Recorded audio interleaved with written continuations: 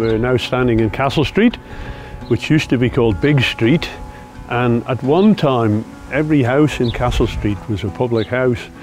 They might not have had a, a bar with uh, taps and such like and optics, but they probably would have a barrel of beer put in every week, which they'd be selling in, in the front rooms. But behind me here, Thie Ynsee, the House of Learning or the House of Teaching, is a house where Edmund Goodwin used to live. Edmund Goodwin, the famous man who wrote the first lessons in Manx, he did a lot for the Manx language.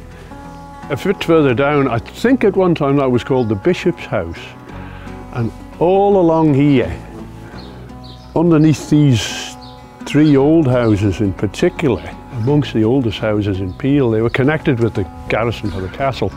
There's a great big cellar. If you, if you actually go down into the old bonded warehouse there, you can see the cellar underneath and the cellar ran from here to there, a sort of a vaulted, I'm getting excited here now waving my arms around, a sort of a vaulted uh, cellar.